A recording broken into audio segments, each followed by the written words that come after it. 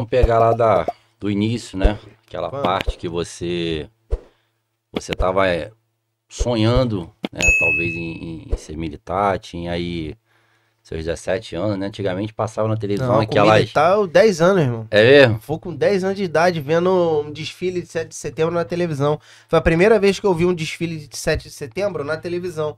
Eu sempre tive, eu sempre tive curiosidade de saber como era o, o exército, não sabia, né?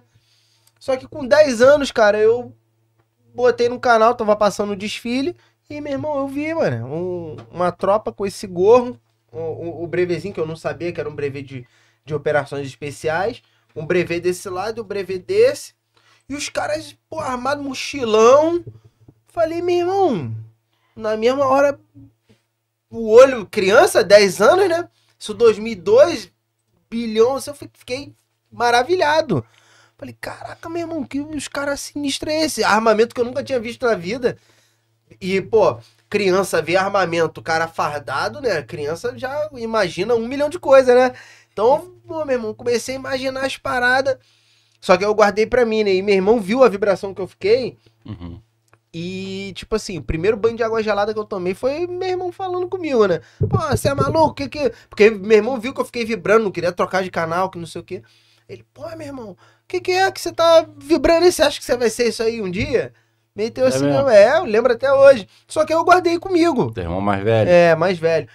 Que, a, a, a minha, assim, o sonho ficou guardado no meu coração, mas eu não sabia como.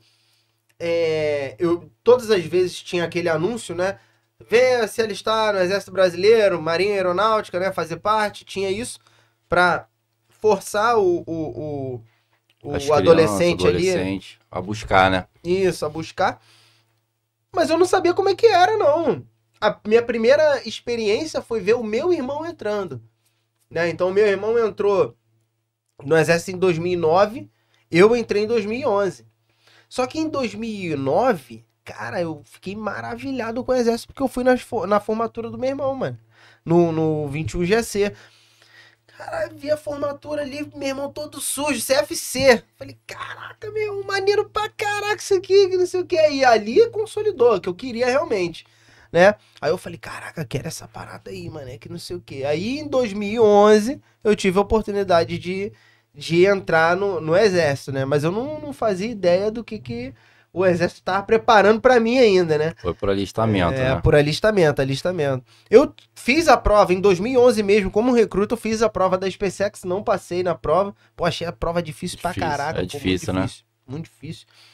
Mas eu, na minha contagem, eu zerei o inglês, então quando, na minha época, eu não sei como é que tá concurso hoje, mas quando zera uma matéria, eles descartam a, a prova inteira, né? Uhum. Então, assim, nem, nem pra redação eu fui, porque como eu zerei uma matéria, nem para eles não corrigem nem a redação Sim. né? Então, aí, pô, em, 2000, pô, em 2011, é, eu tive contato com o Ciopesp, que foi pra, pro Camboatá, que eles foram em 2011.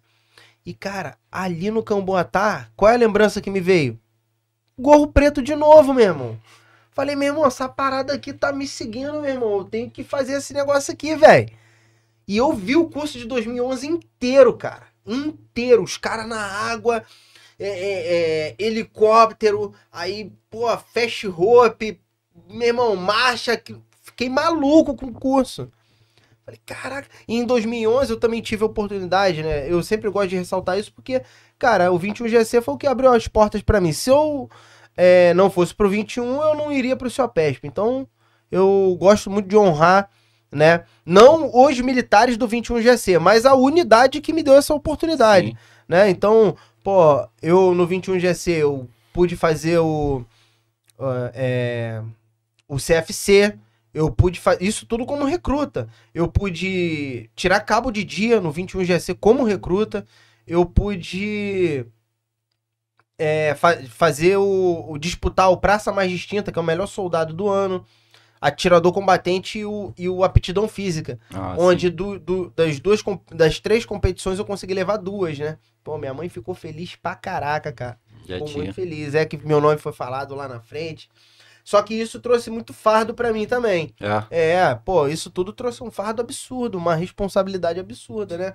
Porque tudo que eu. Porque assim, eu era um recruta que tinha brevet. E na minha época, se, na- se eu tivesse brevê como recruta, eu tava querendo ser melhor do que os outros, porque eu tava botando isso na minha farda.